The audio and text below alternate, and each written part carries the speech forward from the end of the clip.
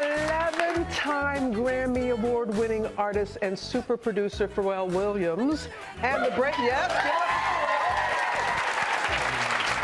It's, it's all I could do to say I'm so happy also, the breakout star of the incredible new movie Roxanne, Roxanne, Roxanne Chante Adams.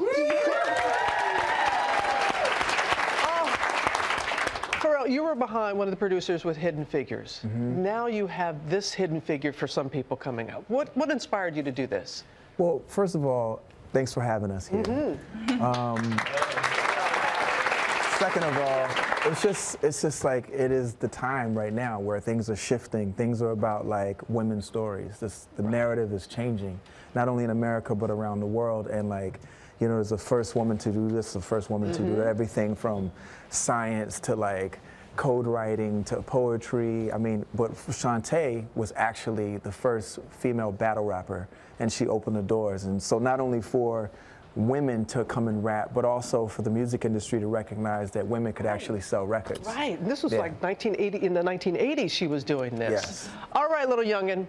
Okay, she was six weeks out of college. okay, six weeks out of college, Yes. and you get this. Yes. First role. First role. First role. happened?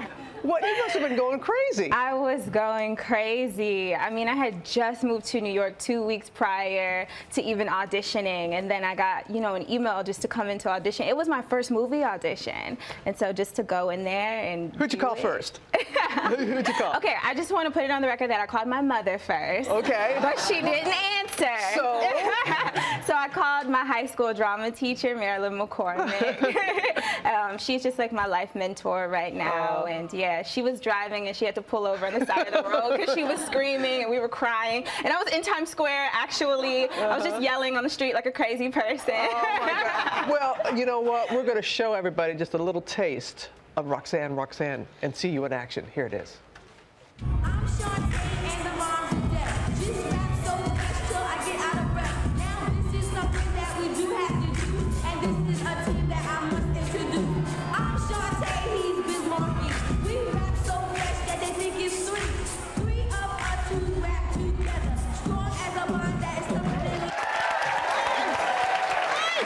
Say something? Please, please. so like what you guys just saw was like part of what people know of her. Um, but this is a super, super like deep story. At times it could be super heavy because she was 14 years old. You know, she got pregnant.